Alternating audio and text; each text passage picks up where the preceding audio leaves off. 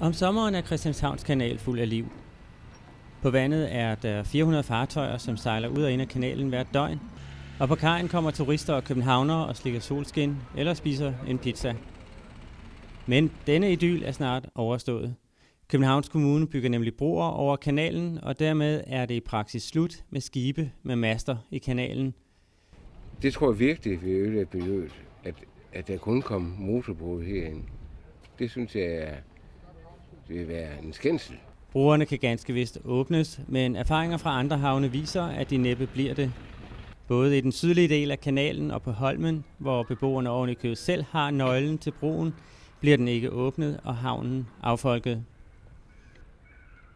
Processen har været benhård fra Københavns Kommune, som har tilsidesat i tusindvis af protester fra Christianshavnere, fra Christianshavns Lokalråd og fra Lokaludvalget. Og for at sige det helt ærligt, som det nu er, så har I givet os modstand til sidste ende, og det vil jeg egentlig gerne takke jer for.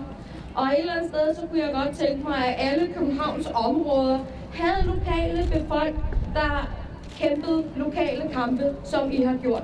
Men vi er uenige, og jeg synes, det er helt fair at være uenige. Men jeg vil godt sige tak for den modstand. 96 imod. Det er mange. Kommunen har også omgået totalfredningen af kanalen og har måttet skride til ekspropriation af udendørsarealer fra boligforeningen Lejerbo for at få landfester til broerne. Og dog kunne det hele have været undgået. Christianshavnerne har nemlig tidligt foreslået, at forbindelsen over havnen kunne etableres med en tunnel, men Københavns Kommune har ikke seriøst taget dette forslag i betragtning.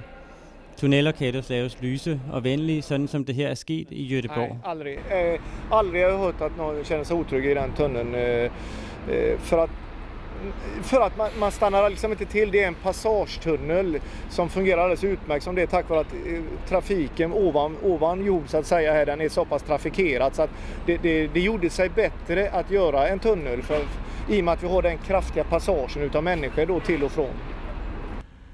Men Christianshavnerne kæmper videre, ikke for deres eller for sejlernes skyld, men for de kommende beboeres og turisters på Christianshavn. Så der kører stadig retssager, som nogle erhvervsdrivende på Christianshavn har anlagt mod kommunen, fordi brugerne påfører dem et indtægtstab.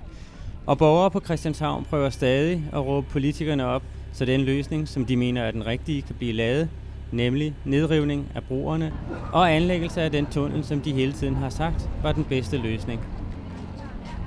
Jeg stoler ikke på, at vi kan bygge et sæt broer, som ikke vil smadre det historiske bådmiljø i Christianshavns kanal. For at det først forstået, så kommer det ikke igen, og den risiko, den tør jeg ikke til.